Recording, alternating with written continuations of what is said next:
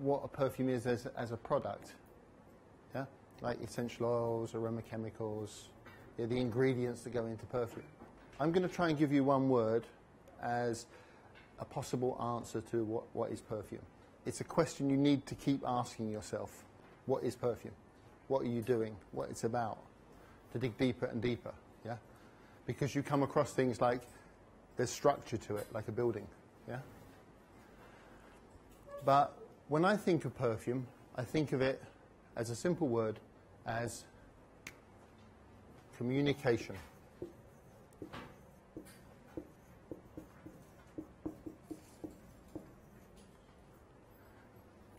How many senses do we have?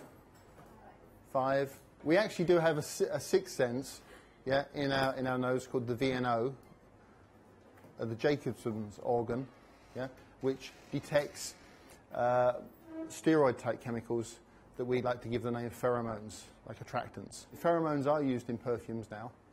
Um, Dove, I think, is one of the brands that uses a lot, and unfortunately, they use it unpleasantly so. Um, but yeah, but we have we have that sixth sense, and of course, there's common sense, and then there's mystic senses. Yeah. But what are our senses for? Why do we develop senses? To survive. Yeah, it's about survival. It's about survival, and it's about receiving communication from food to say that it's edible. Yeah, sounds to tell us that there's something wrong or there's there's something good to find a mate. Yeah? So, perfume is a method of communicating with those senses. And it's a very powerful way to think of perfume. I'll give you an example. Let's say you were watching TV this morning and you saw a, uh, an advert for Sunsilk shampoo. Yeah? Now, in, in this part of the world, it will generally be for black hair. Yeah? Maybe in Europe it would be for blonde or auburn hair or something else. But let's take black hair as the example. And what you'll see on that advert is a girl with long flowing black hair, you know, it sort of glides in the wind and it's silky and it's smooth. Yeah? And as you watch that as a female, you'd be saying to yourself, I want hair like that. So you then go to the, the supermarket and you go along the, shelves and you come to this same sh shampoo that you saw on the, the TV, and it'll have the same image, or very close image, to that you saw on the TV. And then the words will say silky, sm smooth, black, shiny, sleek, words that give you the same feeling. Yeah?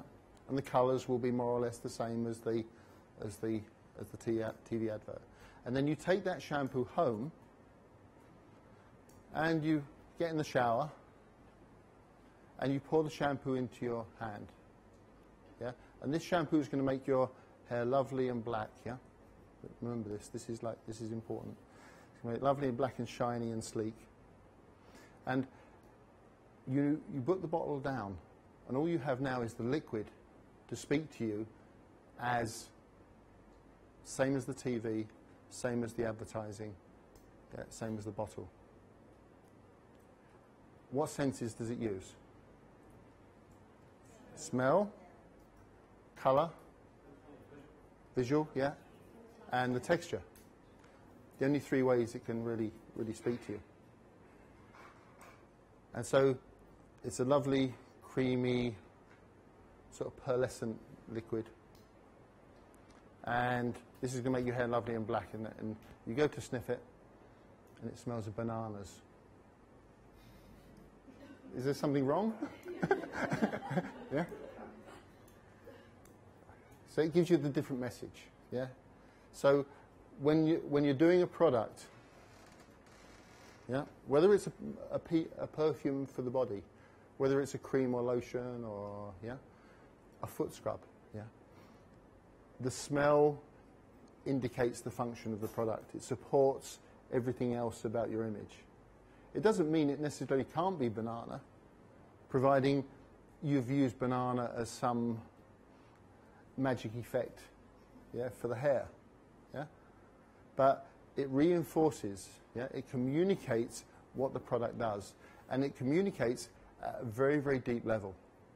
You don't have to process information in the cerebral cortex when you smell something. It goes straight to the hypothalamus and bang, you feel emotion. Yeah, it brings back memories. So when you're developing products, communication. If you can think about communication, it's a very empowering way to look at perfume um, and how you're creating perfume.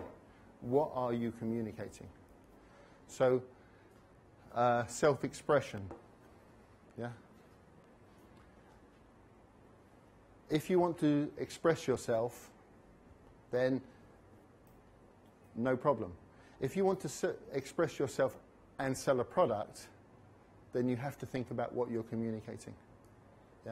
Because a successful product depends on the, the thing that you communicate to the end consumer, to the person that pays the money that buys your product. Yeah? Or if you're not doing it for money, yeah? what message do you send across to the person you gift it to? Yeah? Is, it, is it a positive message? Is it the same message you're trying to tell with your, your smell? So I suggest that perfume, what is perfume? I suggest perfume is communication, a method to speak to our senses.